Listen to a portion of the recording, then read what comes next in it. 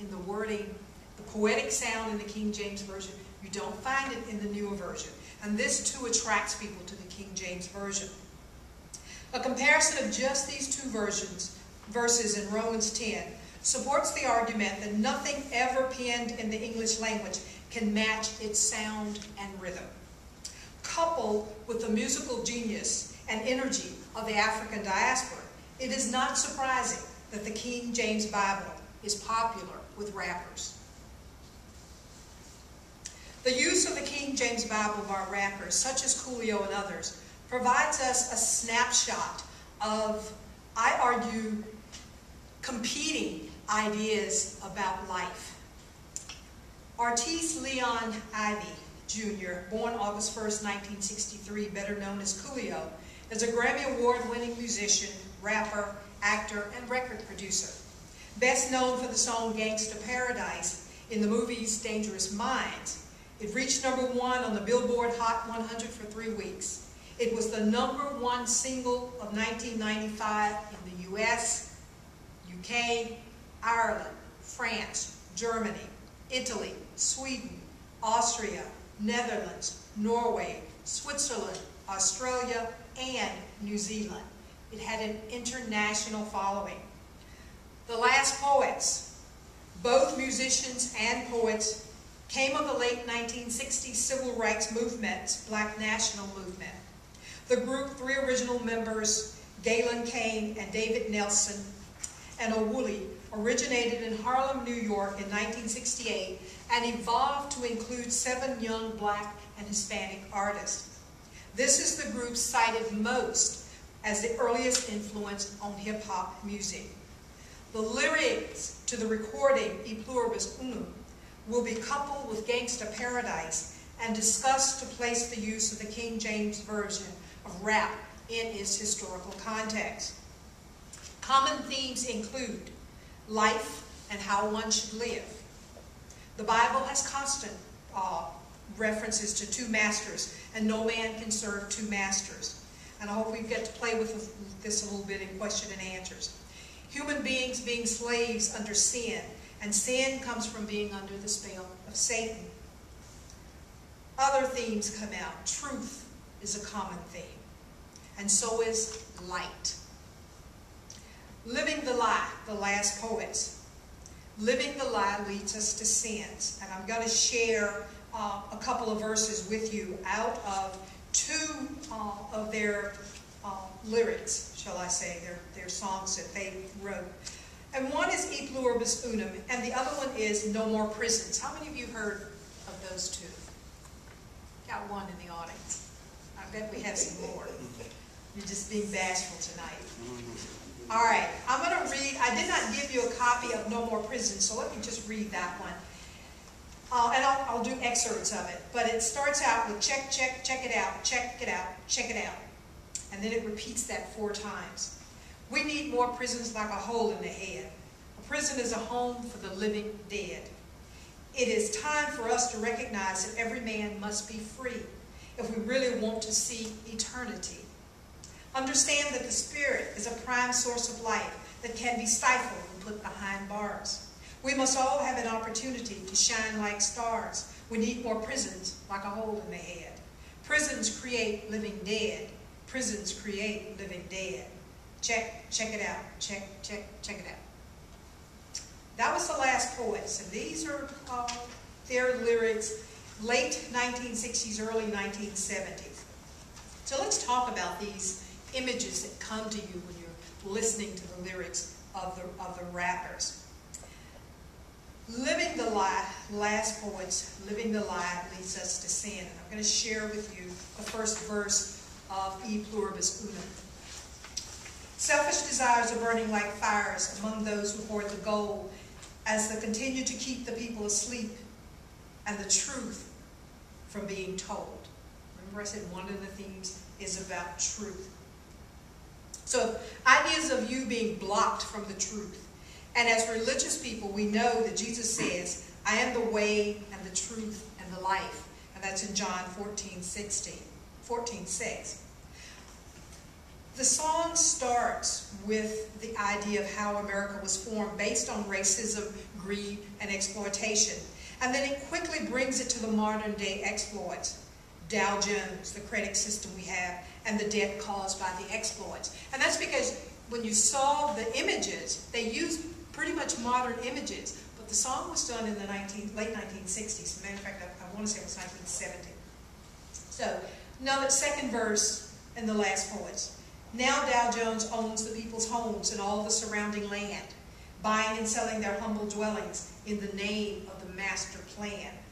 Credit cards, MasterCharge, legacies of wheels, real estate, stocks and bonds on coupon paper bills. But the dollar bill is their only God, and they don't even trust each other. And over the pyramid hangs the devil's eye that stole from the truth and created the lie last verse. And so the power is in the hand of the ruling classes, playing God with the fate of all the masses. So the people don't get any in the land of the plenty, because e pluribus unum means one out of many. Still very powerful, still very pertinent uh, to today.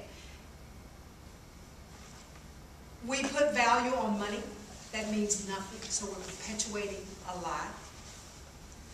Rappers, I see them as people who go outside of the camp. There are always people who are outside of the camp. They can be seen as not trying to please man. Some of them go directly to God, and somebody can argue with me on that because we know some of them don't, like those in the camp. Okay? In the No More Prisons one that I read to you, that concept of freedom, freedom is true life in terms of having to shine your light, and the Bible discusses that kind of freedom. In Christ there is freedom. Matthew says being the light of the world. Prison is what we are captured in, living in sin, the lie. The truth is the freedom, and it's time for us to recognize that. The spirit, prisons break the spirit, and that's another thing that you see in Coolio, and we'll talk a little bit about that, is the brokenness of the spirit that brings out the words in the prison. On whom who is poor and of a contrite spirit, idea of the broken spirit yearning for truth, and that's Isaiah 66, 2. Psalms 51, 17. The sacrifices of God are a broken spirit, a broken and a contrite heart. O God, you will not despise. And then in John 10, 10, he says, The thief comes only to steal, kill, and destroy. Prisons from the outside are usually seen as dens of thieves. But from the inside, it can be also be seen as a den that steals, kills, and destroys. And we go back to the living dead uh, by the poets. A search for freedom, the truth, opportunity for light and life. Prisons perpetuate the lie on the outside that steals the minds, kills the body, and destroys the soul. This living the lie is the living dead. And then trying to get those in power to quit perpetuating certain lies. And you must remember when these particular lyrics were penned, you're talking about the late 1960s, early 1970s, where people were being imprisoned falsely uh, because their politics were different or for whatever reason. And so, again, dealing with these kinds of images um, still with us today, shall I say. Coolio. From the beginning, the last poets to Coolio, the artists articulate biblical language in rap, showing that truth crosses all barriers, both within and outside the camp. The idea of the lie as so appealing, so popular and desiring, it becomes harder and harder to move away from it. It becomes natural. The lie is harmful. It propels generations to long, to want, to become greedy. We equate it with the dream. But the truth is like nature. It is simple. It is content with little. The true reward is God himself. And as Coolio raps, he talks about how the lie is the driving force behind the gangster's paradise, which is hell. He begins this march of the gangster paradise with, As I walk through the valley of the shadow of death. This is a different valley from the KJV. But the valley that Coolio is referencing is the neighborhood or an environment that exudes a cycle of violence and death. In the beginning, Coolio does not use in the beginning, which if, if you read the King James Version, the Lord is my shepherd, I shall not want. Showing that he is leading himself.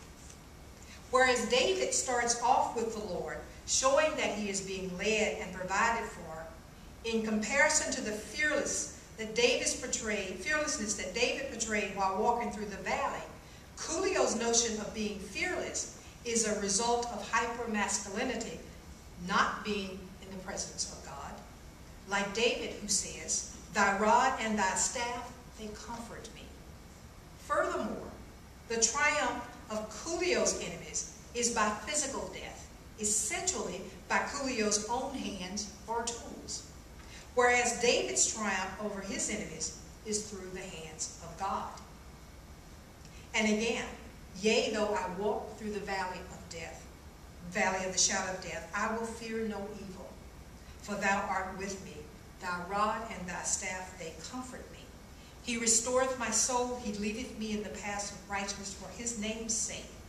Thou preparest a table before me in the presence of mine enemies. Thou anointest my head with oil, my cup runneth over.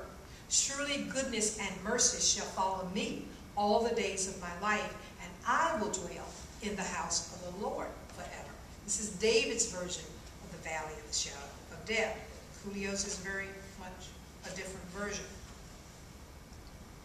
What is following Julio is not goodness and mercy, but children of his own damage and dangerous image. And I know some of you remember the little boy with the shades on. These are the people who are following Paul. Coolio. Um, let me just share a couple of lines with you. As I walk through the valley of the shadow of death, I take a look at my life and realize there's nothing left.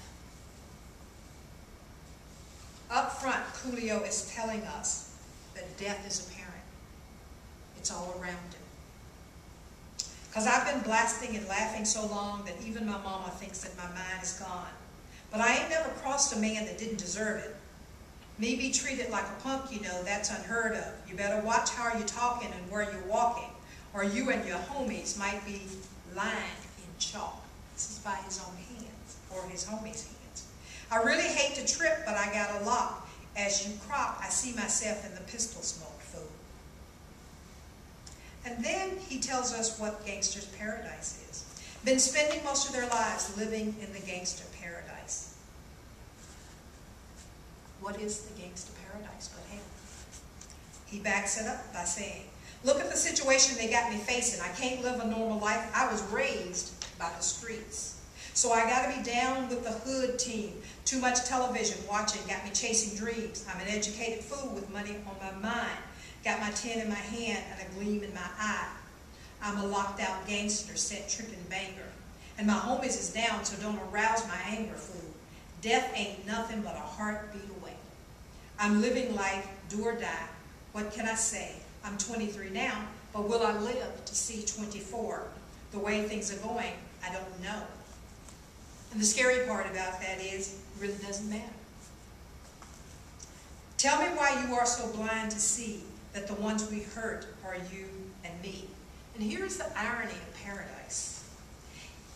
It's counterproductive. It only hurts ourselves, and it is very much the opposite of David's paradise.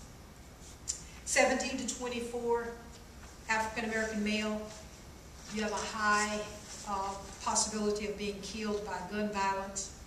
Coolio is rapping about the reality on the street where death is apparent and life is without hope, without meaning. Yet the paradise is a trap. It's a reviving door, revolving door, and it has no meaning. I'm going to share a couple of other things that Coolio shares with us that I find really interesting. Again, living the lie. He says the power and the money, money and the power, minute after minute, hour after hour, everybody's running, but half of them ain't looking what's going on in the kitchen, but I don't know what's cooking. uh, do you remember your grandmother saying, if you can't stand the heat, get out of the kitchen? This is everyday living. They say I gotta learn, but nobody's here to teach me. If they can't understand it, how can they reach me? I guess they can't. I guess they won't. I guess they front. That's why. I know my life is out of luck, fool. Then he gives you the verse again, been spending most of their lives living in the gangster paradise. Tell me why are we so blind to see that the ones we hurt are you and me? Tell me why are we blind, so blind to see that the ones we hurt are you and me? And here, Julio deals with the absence of a teacher, the lack of courage of those who possess the knowledge. Unlike Jesus who came to heal the sick, not the well, dealt with the lame, the lepers, and the sinners, hung on the cross with the killer and the thief. And when the thief asked, Jesus, remember me when you come in your kingdom. And Jesus said unto him, Truly I say to you today, you shall be with me in paradise. This is the opposite paradise Coolio. If there is a paradise outside of what is being taught, he is ignorant of it. And this is due to an absence of teachers. They put forth little effort, if any. Psalms, Psalms 23 is about awareness and dependency. And King David was being led, he was being taught and restored by God. He takes the same approach of being dependent on God in the valley, so his dependency doesn't change throughout, even when he's presented throughout his story, even when he's presented with danger. With this, David concludes his paradise is dwelling in the house of the Lord forever. Both David's valley and Coolio's valley force us to examine Matthew 16, 26. For what is man profited if he shall gain the whole world and lose his own soul? Or, or what shall a man give in exchange for his soul? Perhaps the gangster's paradise. Thank you.